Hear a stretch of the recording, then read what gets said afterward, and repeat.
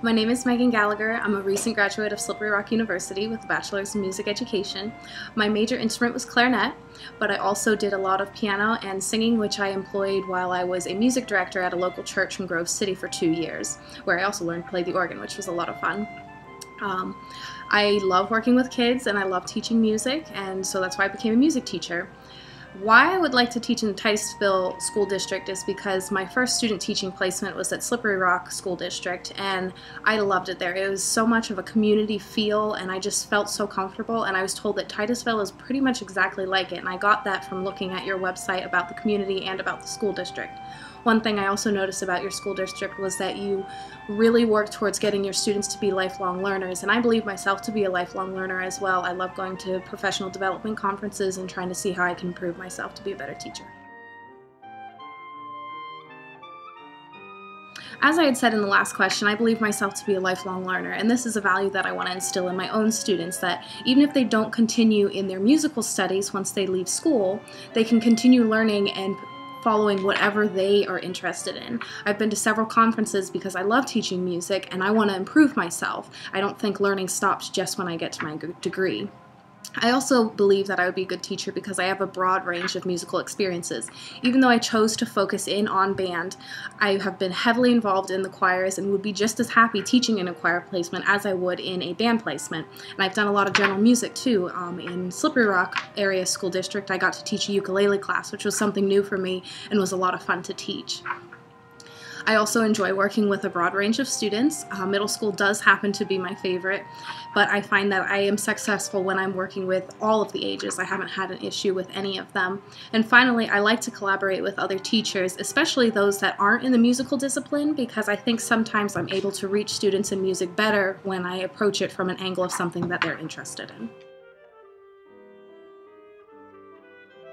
What my entry plan would be is to create a syllabus that outlines our short and long-term goals for the school year, which I would share with the students so that they're a part of the classroom.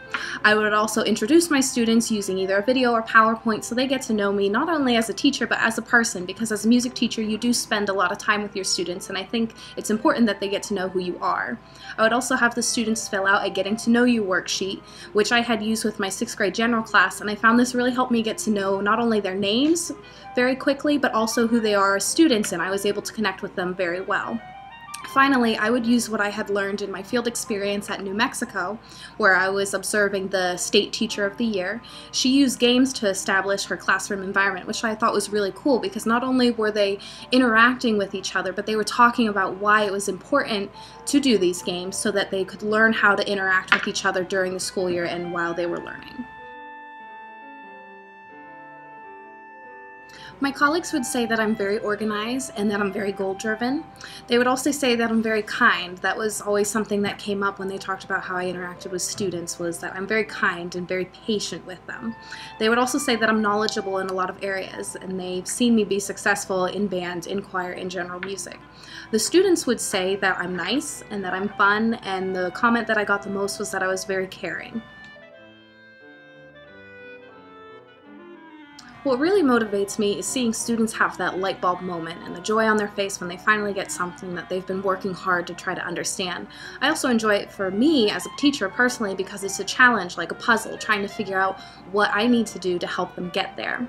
I'm also motivated by new experiences. As I had said, I had traveled to New Mexico and I had gone to several conferences outside of the state because I think new experiences allow opportunities for growth and for learning.